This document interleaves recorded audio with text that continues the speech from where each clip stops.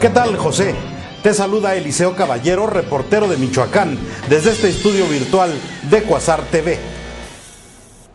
¿Qué mensaje le darías a los jóvenes michoacanos que, como tú, tienen metas muy altas?